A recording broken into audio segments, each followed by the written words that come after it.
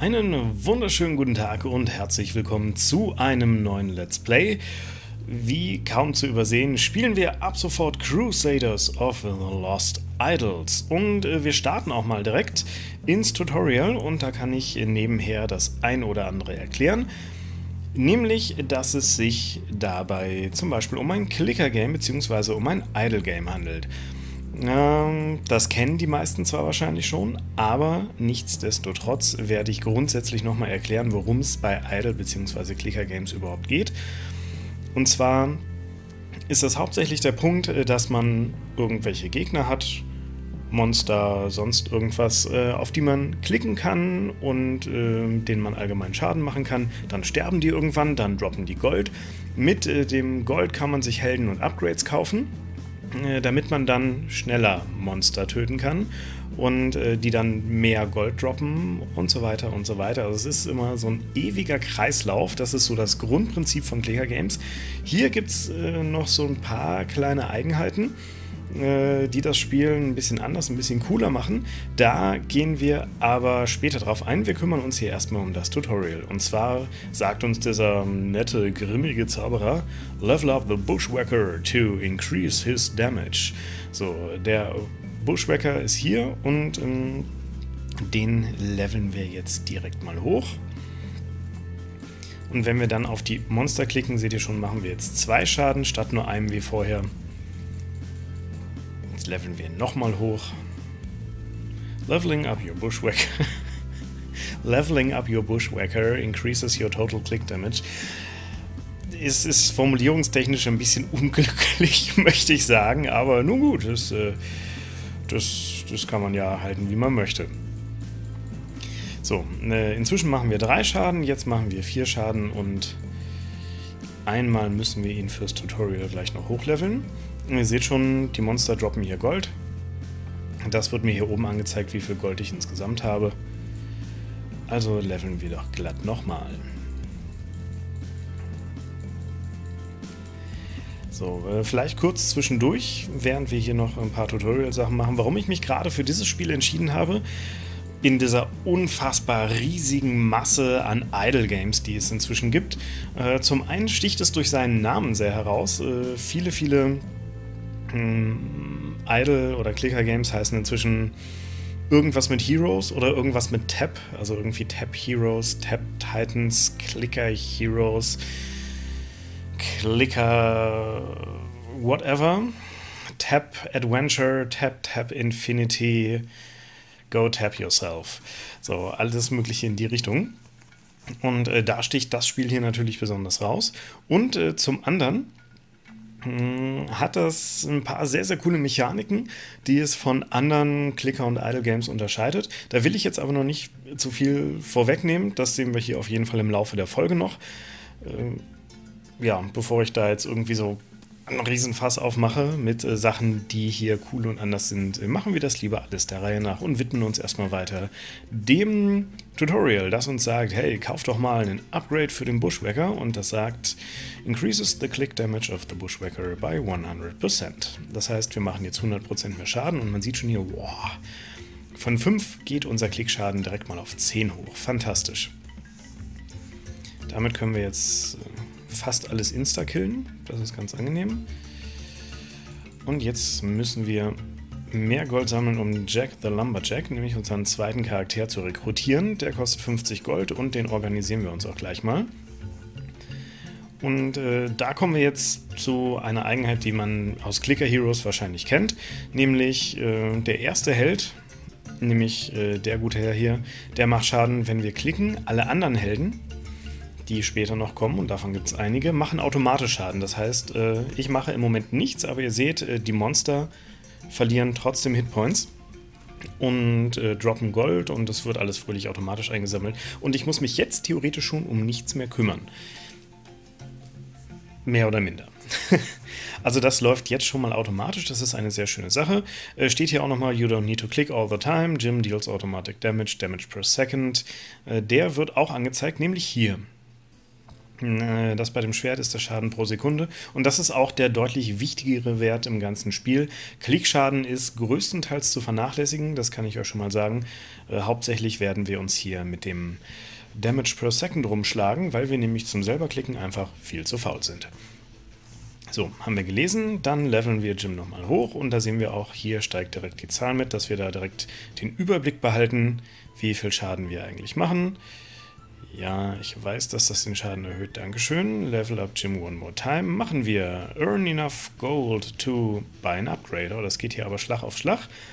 Dann kaufen wir auch nochmal ein Upgrade. Und äh, da kommen wir jetzt gleich zu einer sehr interessanten Sache. Man kann nämlich äh, die Helden hier, also auf einem vorgefertigten Raster, da gibt es verschiedene, das ist im Moment hier 4, 3, 2, 1, äh, kann man die auf verschiedene Slots setzen. So, ja, und ich weiß, Tutorial hier und da. Ich möchte das gern selber erklären. Danke. So. Ja, wir gehen mal ins nächste Gebiet. So, jetzt sieht man hier auch nämlich das Raster ganz gut. Ähm, da gibt es insgesamt zehn Felder. Und das heißt, man kann mit seinen Helden verschiedene Formationen bauen. Und das bringt äh, eine ganze Menge taktische Tiefe mit rein. Denn diese Formation ist nicht einfach nur, damit es äh, hübsch aussieht, sondern äh, die Helden haben verschiedene Fähigkeiten, die dann eben mehr oder weniger bringen, je nachdem, auf welcher Position der entsprechende Held steht. Äh, hier das gute Buddy System von Jim sagt nämlich: Increase the base DPS of Jim the Lumberjack by 100% when a Crusader is next to Jim the Lumberjack.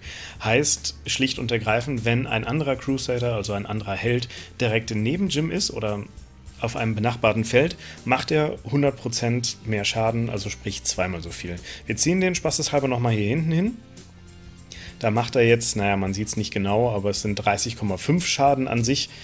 Ähm, und wenn wir ihn nach hier vorne ziehen, zack, sind es 61, nämlich genau das Doppelte. Deswegen sollte man immer so ein bisschen darauf achten, äh, wie man seine Helden eben platziert. Und ja, wie gesagt, es gibt dem Spiel halt so ganz cool taktische Tiefe und da kann man sehr, sehr viel mitmachen. Da wird es im späteren Spielverlauf äh, auch noch verschiedene Modifikationen geben, dass eben dieses 4321-Raster äh, anders aussieht oder aus bestimmten Questgründen bestimmte Slots davon belegt sind und dass man da eben so ein bisschen schauen muss, äh, okay, jetzt kann ich das gar nicht so machen, wie ich das gewohnt bin und muss mal ein bisschen überlegen. Und das ist schon äh, einer der Gründe, wenn nicht an sich der Grund, warum Crusaders of the Lost Idols einfach viel mehr Tiefe und viel mehr Wiederspielpotenzial hat im Vergleich zu anderen Clicker-Games. So, wir holen uns nochmal einen neuen Helden, nämlich hier den guten Emo-Werwolf, was ich schon sehr großartig finde. Ich mag seine Frisur ein bisschen so schön. Ich würde sie mir aus Prinzip auch kämmen, aber ähm, vielleicht zur nächsten Folge. Wobei, ich lasse meinen Bart einfach ganz lang wachsen und dann lege ich mir den hinten rum um den Hals und kämme den mir auch so schräg über die Augen. Das klingt nach einem super Plan, finde ich. So, äh, zudem muss ich hier noch ein bisschen was anderes erklären, nämlich wie das hier von der Levelstruktur aufgebaut ist. Ähm, auch nochmal zur Info kurz zwischendurch. In den ersten 1, 2, 3 Folgen werde ich hier sehr, sehr, sehr viel zur Spielmechanik erklären. Das ist einfach dem Spiel geschuldet und das ist natürlich immer dem Beginn eines neuen Let's Plays so geschuldet. Das wird in späteren Folgen natürlich auch eher dazu übergehen, dass ich mich dazu verleiten lasse, mehr Schwachsinn zu machen oder mehr Sachen auszuprobieren, hier und da auf eure Kommentare einzugehen und auf eure Tipps und so. Aber die ersten ein bis drei Folgen, je nachdem mal gucken, äh, wie lange der ganze Spaß wird, werden hauptsächlich Erklärungen sein, damit auch die Leute, die nicht unbedingt Plan von Clicker und Idle Games oder konkret von dem Spiel nicht so viel Plan haben, einfach auch ein bisschen durchsteigen und verstehen, was passiert hier eigentlich. So, äh, einfach damit wir ein bisschen mehr Schaden machen, level ich hier nochmal weiter. So, ihr seht hier oben äh, unsere kleine Map. Ähm, da sind immer fünf Level drauf pro Abschnitt. Das kann man hier mit diesen gelben Pfeilen auch noch vor und zurück skippen. Ähm, die muss man aber nach und nach freischalten, also die einzelnen Gebiete. Und in den einzelnen Gebieten hat man verschiedene Aufgaben. Also Gebiet 1 war jetzt nur das reine Tutorial. In Gebiet 2 hatten wir jetzt hier in der Tat eine Aufgabe, nämlich Grandma Bernadette needs 16 berries for her pies. Also, äh, Oma Bernadette würde gerne Kuchen backen und braucht dafür Beeren und die müssen wir sammeln und die droppen von Gegnern. Das ist so immer unsere Standardaufgabe pro Level, dass irgendein Gegner irgendwas droppt und wir müssen das einsammeln, damit wir weiterkommen. Das ist einfach so die natürliche Begrenzung, damit man immer eine Weile in einem Level bleibt und ein bisschen Gold farmt und eben nicht zu schnell vorwärts kommt und dann ruckzuck da steht und so, oh, meine Helden sind viel zu schwach und ich kriege hier voll auf die Fresse. So, wir gehen mal ins nächste Level. Ihr seht schon, hier blinkt der gelbe Pfeil und die 3 hier oben ist auch grün freigeschaltet. Das heißt, wir gehen einfach mal ins nächste Level rüber. Zack. Uh, defeat 15 forest creatures, so Biggles Guards doesn't need. Ähm, so. Alter, ich kann nicht mehr lesen heute. So Biggles the Guard doesn't have to. So. Also, es gibt hier irgendeinen Wächter und der ist zu faul, diese Forest Creatures zu töten. Darum machen wir das. Da hauen wir jetzt einfach 15 Stück von um. Und dann ist der Drops auch schon gelutscht.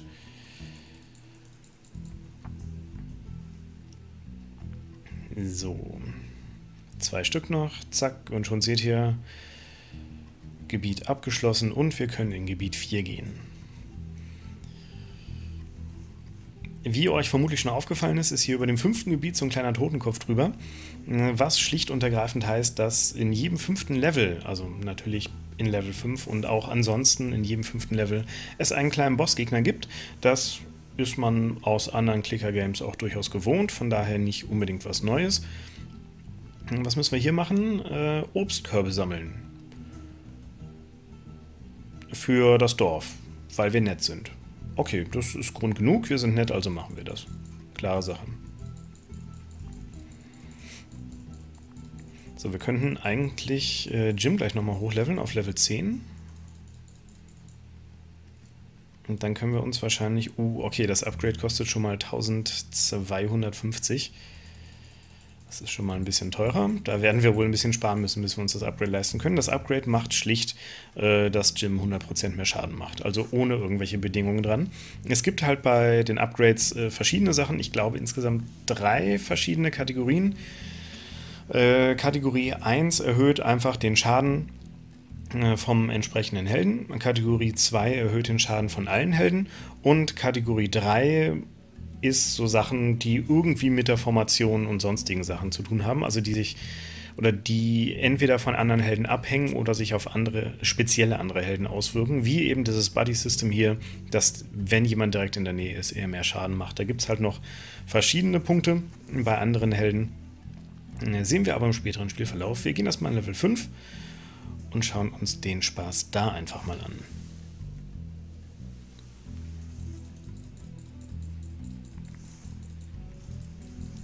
So, da merke ich schon, ah, ich mache hier relativ wenig Schaden und da kann ich gleich noch einen interessanten Punkt anführen. Nämlich, äh, wenn die Monster hier weit genug nach links kommen zu meinen Helden, machen die meinen Helden Schaden und irgendwann verrecken meine Helden dann auch und äh, dann sieht das Ganze so aus, dass wir das Level leider nicht geschafft haben. Dann switchen wir automatisch zum Level davor zurück äh, ja, genau, da gibt es auch nochmal einen kleinen Tipp. Ouch, that boss was strong. Try idling on a lower area to be able to get stronger before facing the boss again.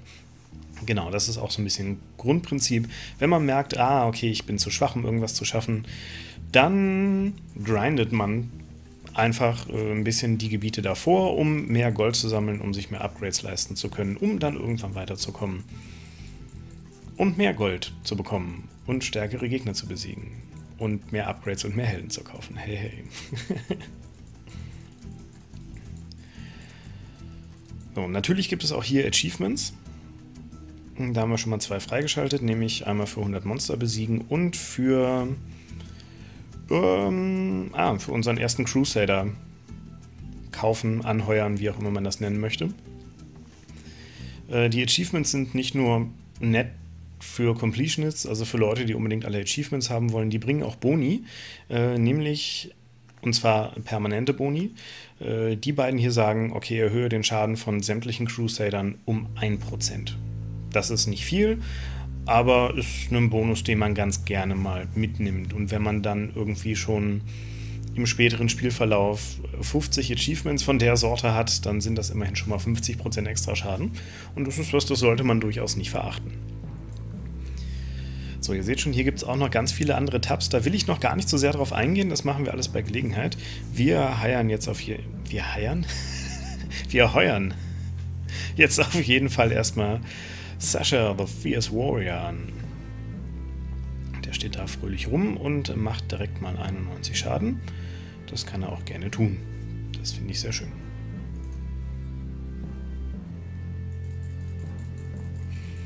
So, ich glaube Level 5 werden wir hier noch nicht direkt schaffen, oder? Nee, das läuft mir alles noch ein bisschen zu langsam. Ich würde auf jeden Fall ganz gerne nochmal hier auf die 1250 Gold kommen.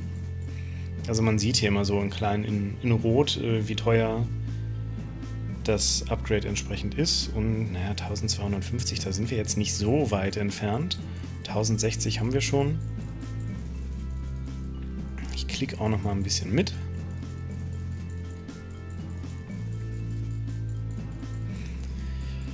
So, kleiner Fun Fact am Rande. Ähm, dieses Spiel hat eigene Musik, die ist eigentlich ganz cool, äh, wiederholt sich aber sehr, sehr, sehr schnell. Deswegen habe ich die einfach mal grundsätzlich ausgemacht, weil ich habe äh, schon ein bisschen in der Closed Beta gespielt, äh, hatte ich irgendwie auf Steam für eine gute Woche den Zugang und ich kann die Musik leider schon gar nicht mehr hören. Deswegen habe ich hier direkt eigene Musik im Hintergrund angemacht. Die ist auch noch nicht final, da muss ich mir nochmal eine fetzige Playlist für das Let's Play hier raussuchen, aber für heute geht das auf jeden Fall mal. Und äh, ja, man hat hier so seine kleinen Settings, da kann man hier... Ah, ich kann die Soundeffekte mal anmachen.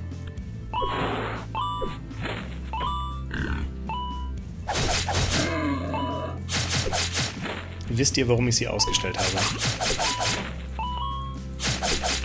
Das geht nämlich die ganze Zeit so. Und ist leider hart nervig. Von daher wir haben es mal gehört, vielen Dank. Und was ich eigentlich sagen wollte, ist äh, hier dieser Progress, im, also dieses Voranschreiten im Level, da kann man entweder einerseits manuell diesen gelben Pfeil klicken oder sobald man ein Level das erste Mal freischaltet, kann man auch automatisch dahin wechseln. Da gibt es hier, ah Moment, die muss ich glaube ich auch erst freischalten, die Funktion, ne? Ha, die gibt es hier noch gar nicht. Okay, dann war das im späteren Spiel. Es gibt auf jeden Fall im späteren Spielverlauf, ich muss noch mal gucken, wann man das freischaltet, äh, eine Funktion, in der man weiter Leveln wechseln kann. Wahrscheinlich muss man da, wie von anderen ähnlichen Spielen bekannt, einmal Zone 100 erreichen oder einmal einen Soft Reset machen. Was? Soft Reset? Ja, erkläre ich später. so, wir können uns jetzt auf jeden Fall dieses Upgrade hier leisten. Und außerdem können wir uns hier noch ein Level erlauben. Und damit haben wir ja jetzt auch noch gleich mal ein Achievement unlocked. Und machen jetzt über 500 Schaden pro Sekunde. Ich finde, damit können wir uns ruhig noch mal in Zone 5 wagen, oder? Ich finde, das ist eine ganz gute Sache.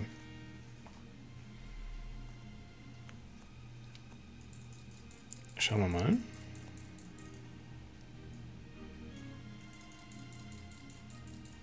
So, mit Klicken kriegen wir diese ganzen Nupsi-Viecher hier auf jeden Fall weg. Die Frage ist, kriegen wir den großen Teddy auch umgeklopft? Ja, das sieht ganz gut aus. Das sollte auf jeden Fall laufen. Dann kann ich hier nämlich gleich noch eine Sache zeigen.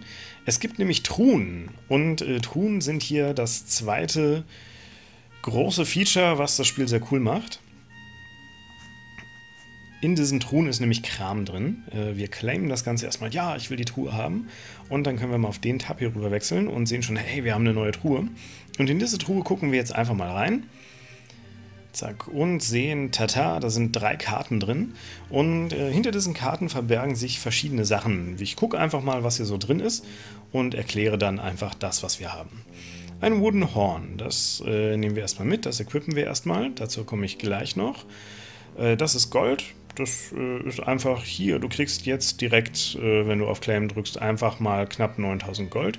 Dieser Wert ist äh, abhängig davon, in welcher Zone man gerade ist, also wie weit im Spiel man gerade ist und äh, auch wie selten die Karte ist. Also es gibt verschiedene Seltenheitsstufen bei den Karten, nämlich äh, auf jeden Fall Common, Uncommon, Rare und ich glaube, es gibt auch noch Epic. Ich bin mir gerade nicht sicher, ob es auch noch weitere Stufen gibt. Ich habe das Spiel auch noch gar nicht so wahnsinnig viel gespielt.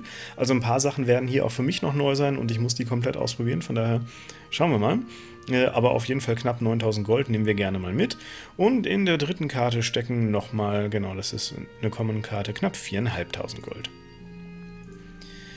Okay, das ist einerseits ein ganz netter Boost.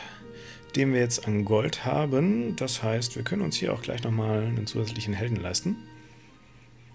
Und machen jetzt schon mal flockig über 1000 Schaden. Das ist ganz angenehm. Achievement haben wir auch noch unlocked. Es geht voran, möchte ich sagen. Pro-Tip Idling.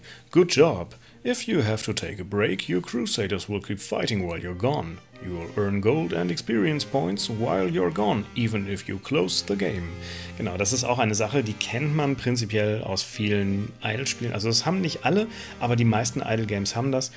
Und zwar, äh, wenn das Spiel aus ist, also auch wenn der PC aus ist, nicht nur das Spiel, sondern auch wenn der PC aus ist, äh, wird quasi weiter gefarmt auf der Stufe, auf der man das Spiel beendet hat, beziehungsweise auf der höchsten Stufe, die man schafft.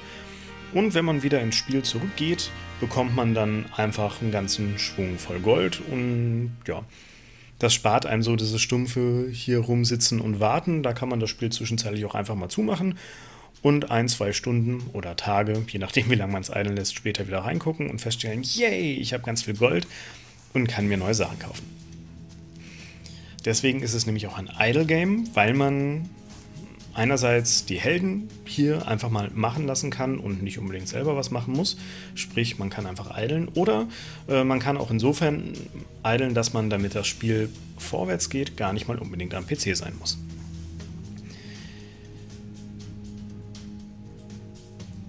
So, wir kaufen uns hier spaßeshalber mal das Upgrade. Äh, da kommen wir nämlich noch auf eine Sache, die auch noch ganz interessant sind, nämlich Abilities bzw. Skills. Und zwar gibt es Helden, die schalten gewisse Skills frei oder bringen gewisse Skills und Abilities mit sich. Der gute Herr, der gute Herr hier hat äh, Clickorama. Das ist dann übrigens auch schon die vierte Art von Upgrade, die habe ich vorhin unterschlagen. Ähm, das sagt ganz einfach, für 30 Sekunden lang wird zehnmal automatisch geklickt. So, wir machen das mal. Und ihr seht schon, sobald hier ein Monster kommt, kommt hier diese Klick-Animation. Ich mache aber nichts. Das kommt ganz eindeutig durch den Skill. Ähm, hat insofern einen Vorteil, dass man selber noch zusätzlich klicken kann und äh, dann eben relativ schnell Schaden machen kann oder relativ viel Schaden machen kann. Das ist immer noch mal so ein kleiner Schadensboost. Hat äh, in Kombination mit anderen Skills später auch noch andere praktische Vorteile. Dazu aber später mehr, wenn es soweit ist. So, erstmal können wir uns hier beim Emo-Werwolf nochmal ein Schadensupgrade leisten. Das ist ganz schön. Und dann muss ich eigentlich nochmal auf eine Sache zu sprechen kommen, die nämlich das erste Item auf der Karte war. Oder überhaupt die erste Karte war, nämlich ein Item. Auch eine Sache, die viele Clicker und Idle Games nicht haben. Gegenstände. Und das ist eben das, was das Ganze hier auch sehr cool macht. Es gibt äh, einerseits Gegenstände, die allgemein gültig sind, wie dieses Horn. Das sagt einfach, uh, reduces ability cooldown by 0.5%. Also der Cooldown, die Skills haben alle einen Cooldown, äh, damit man sie nicht permanent einsetzen kann. Äh, hier Clickorama hat eigentlich einen Cooldown von 10 Minuten, ist jetzt dadurch, dass wir das Horn haben, schon gesenkt auf 9 Minuten 57 Sekunden. Ist zugegebenermaßen jetzt nicht so der Knüller, aber äh, nun ja, es ist halt auch das erste Item, was wir haben und es ist Common und es ist so, ja, es ist, äh, es ist halt so da und es ist ganz praktisch, dass ich hier was dran erklären kann. Ja, ähm, wie gesagt, da gibt es hier verschiedene Items, also man kann äh, pro Item-Klasse bis zu vier Gegenstände ausrüsten. Äh, da gibt es eben Horns und Cornucopias, was auch immer Cornucopias sind, das müsste ich mal nachschlagen. Mein Englisch ist zwar nicht so schlecht, aber das äh, Wort sagt mir gerade mal nichts. Äh, dann gibt es Ringe und Amulette und äh, Münzen und Goldbarren. Und die bringen alle ja, verschiedene Boni und die kann man sich hier eben fröhlich zusammenstacken und dann eben ja, seine Werte, die Werte seiner Helden entsprechend verbessern. Apropos die Werte seiner Helden verbessern, habt ihr vielleicht auch schon gesehen, so ähnlich wie diese Slots hier, haben das auch die Helden. Und ja, ähm, auf diesen Karten oder in diesen Kisten oder wie auch immer, können auch Gegenstände für Helden sein, äh, die man dann hier entsprechend in den Slot packen kann wo dann diverse Boni drauf sind. Entweder, also das ist dann immer speziell für, für einen Helden, das kann dann nur der tragen. Äh, die Boni, die da drauf sind, können sich aber durchaus auf sämtliche Helden beziehen. Also es kann sein, der eine Held macht 50% mehr Schaden oder sämtliche Helden machen 5% mehr Schaden oder man bekommt mehr Gold oder dies oder das oder jenes. Da gibt es äh, verschiedenste Sachen. Da muss man halt auch mal so ein, so ein klein bisschen abwägen, sobald man mehrere Items hat, okay, was verwende ich, was verwende ich eher nicht. Auch das bringt nochmal so ein klein bisschen taktische Tiefe mit rein. So, wir gehen auf jeden Fall erstmal ein Level weiter und dann können wir hier auf jeden Fall eine ganze Menge Spaß kaufen. Ähm, ich glaube, ich möchte hier mal Level 10 haben. So, da haben wir hier nämlich noch so ein äh, lustiges Taktik-Upgrade. Increases the base DPS of Emu Werewolf by 200% when there are no human Crusaders next to Emu Werewolf. So, heißt auf Deutsch übersetzt, der kriegt 200% Schadensbonus, macht also insgesamt den dreifachen Schaden, wenn kein menschlicher Held neben ihm ist. Das heißt, wenn wir den jetzt einfach mal nach ganz hier vorne ziehen, zack, springt der von, wir gucken mal, von 564 Schaden auf 1690 hoch. Und das macht sich schon gut äh, bemerkbar. Wenn man immer ein bisschen zu faul ist zu gucken, okay, was bringt hier eigentlich was und äh, nicht immer unbedingt auf die DPS der einzelnen Helden achten möchte, um zu gucken, ob das sinnvoll ist, weil manchmal tauscht man auch einfach Positionen, um zu gucken, ob das mehr Sinn macht, kann man auch einfach immer schön auf den Wert hier oben achten wenn man das jetzt nämlich mal hier hinzieht, man schon, uh, das war nicht so gut, da geht der Schaden runter. Zack, hier geht der Schaden hoch. Super Sache. So, das war eine ganze Menge an Informationen. Das war auch längst noch nicht alles, was ich zum Spiel erzählen kann. Noch lange nicht. Aber ich denke, für die erste Folge soll das erstmal reichen. Es erschlägt einen ja auch so ein klein bisschen. Ich würde sagen, wir probieren nochmal Level 10 so zum Abschluss, oder? Ich denke, das ist das ist eine ganz gute Sache. Wir kriegen hier auch gerade noch ein bisschen Gold und dann gucken wir mal, können wir hier bestimmt noch Level 5 und können uns das Upgrade noch mit leisten. Was macht denn das? Increases the base DPS of Crusaders in the column behind Sasha the Fierce Warrior by 40%. Okay, das heißt, das sagt jetzt alles, äh, das sagt jetzt, Helden, die in der Reihe hinter ihm sind, machen 40% mehr Schaden. Das heißt, wir können den ganz elegant so, und jetzt machen wir mal einen kleinen Trick. Äh, da wir selbst ja eigentlich keinen Klickschaden machen, also können wir, wir lassen den mal auf dem Spielfeld, aber der ist äh, für den Bonus einfach gerade mal total egal. So, ähm, das heißt, wir packen die beiden auf jeden Fall dahinter und packen den Werwolf hier hin. Der kriegt auch den Bonus, hat aber gleichzeitig keinen menschlichen Crusader auf einem Feld neben sich. Das heißt, äh, nur mal so spaßeshalber, einfach mal geguckt. Wir hatten es vorher so. Sind wir auf 3200, also 3210 Schaden, die wir automatisch machen. Wenn wir das jetzt einmal tauschen. Na, der kann eigentlich sogar. Ne, Moment, der kann nicht da bleiben. So. Gehen wir auf 4300 hoch. Das sind mal flockig, also so ungefähr 33% Zuwachs, also ein Drittel Schaden extra. Einfach dadurch, dass wir die Helden umstellen. Ähm, um nochmal ein bisschen diesen taktischen Aspekt zu verdeutlichen. So, außerdem könntest du mal grundsätzlich mehr Schaden machen. Du außerdem auch. Und äh, dann gehen wir mal in Level 10 und gucken mal, wie wir da so vorwärts kommen. Wahrscheinlich kriegen wir unfassbar auf den Sack und ich werde das mal ein bisschen eilen lassen. Oh, wobei, das könnte... Also der Klickschaden ist gerade total lächerlich, was hier passiert, aber der Rest könnte eventuell Achso, ähm, vielleicht noch kurze Info, falls ihr das Spiel selber spielen wollt. Äh, ist inzwischen auf Steam erschienen, äh, es aber auch im Browser. Ich verlinke euch beides mal unten in der Videobeschreibung. Äh, Spiel ist komplett kostenlos, also wenn ihr selber zocken wollt, fühlt euch frei. So, Achievement Unlocked, äh, Defeat the Monster Greg and the Wench Farmer Brown. Jawohl. Haben wir gemacht. Außerdem kriegen wir noch eine Kiste und dann sammeln wir jetzt nochmal die Items ein und dann ist für diese Folge aber auch gut. Jetzt sehe ich gerade, hier ist äh, hier am Rand noch so eine kleine hässliche Linie. Die muss ich dabei Gelegenheit mal wegmachen. Halb so wild. So, und ta ta ta ta, wir kriegen sogar eine Jeweled Chest. Die hat nochmal eine besondere Eigenheit. Die hat nämlich nicht nur drei Karten drin, sondern gleich fünf. So, ah, cool, da kann ich auch gleich noch eine Sache erklären. Ähm, Ah, so ein Con Cornucopia, Con, Cornucopia ist quasi nicht so ein Tröthorn oder, so, oder nicht ein Trinkhorn, sondern so ein Füllhorn mit Stuff drin. Reduces Ability Cooldown by 1.5%, das ist ganz cool. Mm, Silver Lucky Coin increases all gold found by 3%. Okay, das ist auch ganz gut. Äh, Gleaming Tin Fenderbender. Das ist ein Item für den guten Herrn hier. Sehen wir gleich. Equippen wir direkt mal. Und hier haben wir nochmal einen DeLorean. Das hatten wir gerade schon mal. Äh, erkläre ich gleich nochmal im Spiel. Das erkläre ich jetzt doch noch mit.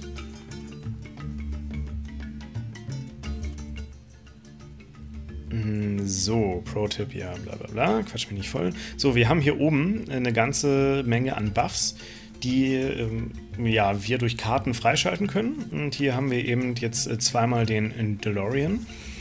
Das ist quasi ein Zeitsprung, also ein 30 Minuten Zeitsprung, den wir, je nachdem wie oft wir die Karte haben, einsetzen können. Und äh, kriegen dann quasi Gold und XP im Wert von 30 Minuten. Also wenn wir jetzt auf dem Status, wo wir jetzt gerade sind, einfach 30 Minuten nichts machen würden, kriegen wir ja trotzdem, also die Helden kriegen weiter Erfahrung und wir sammeln auch weiter Gold automatisch.